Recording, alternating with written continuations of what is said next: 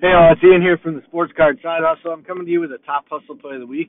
In this case, it's not the norm. Um, I haven't had any picks for a while, or I've been busy, haven't made many videos. But it's not the typical buy, um, buy and hold, or buy quick, and you're going to see some uptick. I'm actually telling you now is the peak for what I think will be a while for Brock Purdy, and I would sell Brock Purdy. So this is a one-year chart, but if you notice, the one-year chart and the two-year chart of Brock Purdy looked basically the same in card ladder. Why? It's because he didn't even have cards two years ago. His cards haven't been out a full two years or just over one year at the most. So the charts basically look the same. But what does it show you? It came, his cards came out at like his peak. A lot of cards, rookies, they come out at um at with all the most hype, like the top draft picks, etc.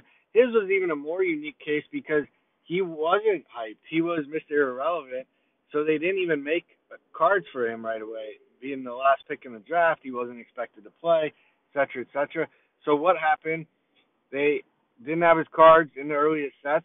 He started blowing it up when he got in there, winning, winning, had good numbers, looked like the real deal. Everybody started hyping him even more because he'd already done it on an NFL field well when the, when his first cards came out. So um, it was hard for that hype to sustain, and the season was ending when when those first cards started to get out there.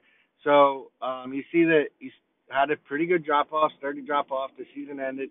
There's always a, a lull in the season. Prices drop or sag until there's something to build that interest again. So now you see this season, right? As we go back to here's three months, even one month, one month. You know, um, back after he started having incredible start to this season, he now he's back to where he was last year and more.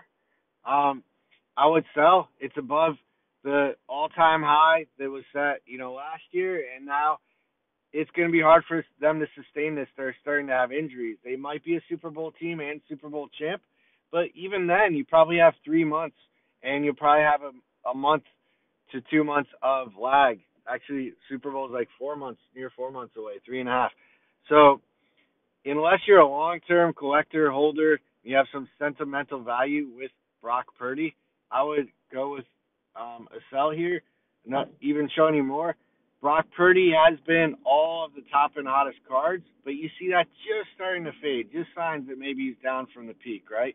He's still got the number one card.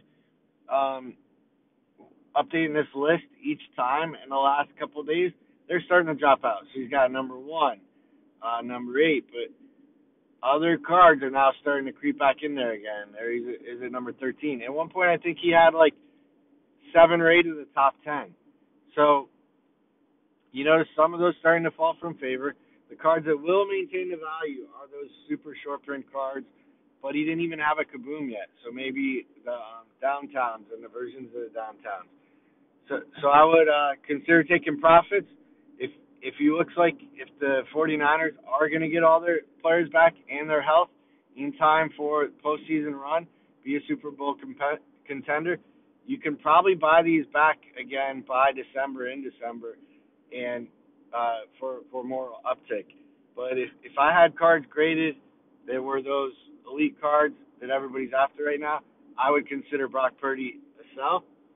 Um, the other thing I want to mention is Brock Purdy's rookie cards are for the same cards, similar cards, are three times the value of Jalen Hurts. So are they overhyped? Probably um, a little bit. He's yes, he's a great quarterback, but um, that's what I got for my pick this week. Um, have fun watching Thursday night football. Enjoy the football weekend, and have a good one all. Take care.